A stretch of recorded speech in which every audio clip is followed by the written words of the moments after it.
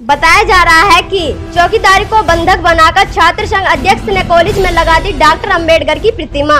वैसे यह बहुत खुशी की बात है। राजस्थान के एक महाविद्यालय में डॉक्टर अंबेडकर की प्रतिमा रातों रात लगा दी गई। प्रतिमा लगाने के पक्ष में लोगों ने कुछ इस तरह लिखा, वर्षों से इंतज़ार कर रहा, अलवर का जाना माना कला महाविद्यालय का इंतज़ार खत्म।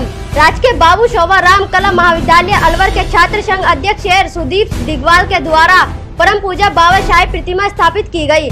समाज के लिए बहुत ही गर्व की बात है। बहुत बहुत बधाई हो अध्यक्ष दीप डिगवाल को। समाज को ऐसे ही शेर दिल बच्चों की आवश्यकता है, जो समाज को उनके हक और अधिकार दिलाने के लिए अपने आप को समाज के लिए कुर्बान करने की हिम्मत रखते हैं। बहुजन समाज आपका हमेशा आभारी रहेगा। जो प्रतिमा के पक्ष में नहीं थे, उन्होंने वैचारिक रूप से काम करने के लिए कहा।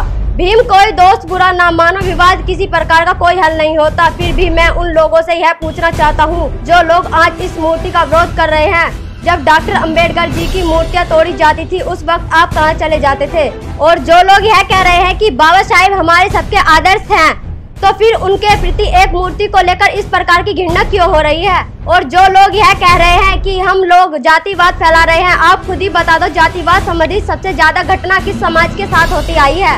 अगर धरने पर बैठना है तो उन सामाजिक अत्याचारियों भ्रष्ट नेताओं के खिलाफ बैठो, जो लोग अपने स्वास्थ्य के लिए समाज में जातिवाद और असमानता फैला रहे हैं।